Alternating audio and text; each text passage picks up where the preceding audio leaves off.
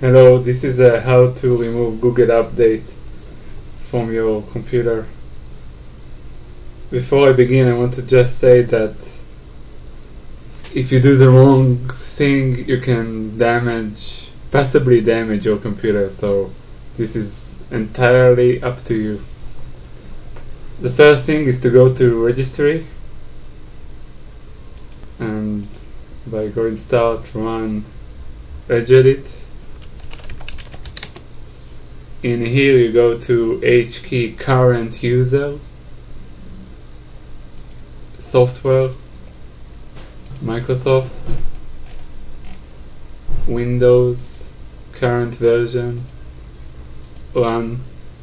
And in here you have Google Update. You can just delete that.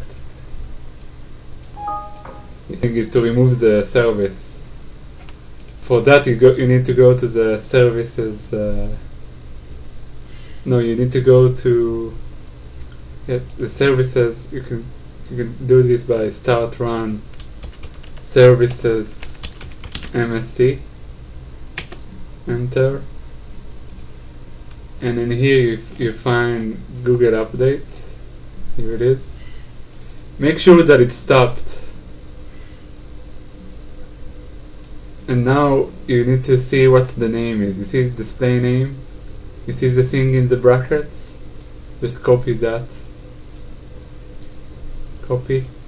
And then go to start run.